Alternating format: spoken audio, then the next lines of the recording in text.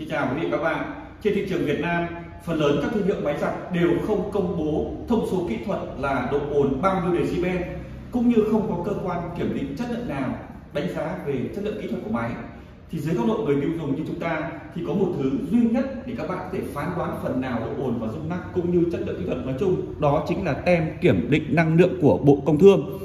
Khi một chiếc máy giặt có chất lượng cơ khí phải đủ độ chính xác, chất lượng tốt kết hợp với công nghệ hoàn hảo thì mới đem đến một cái mức tiêu thụ năng lượng điện thấp nhất như thế này. Ví dụ chiếc máy giặt này giặt 1 kg quần áo chỉ hết 16,5 W điện. Đây là mức gần như thấp tuyệt đối trên thị trường hiện nay. Để giúp các bạn lựa chọn được chiếc máy giặt có chất lượng tốt cũng như giải đáp tất cả các vấn đề xảy ra trong suốt quá trình sử dụng, mời bạn liên hệ kỹ sư điện máy. Xin chào và hẹn gặp lại các bạn.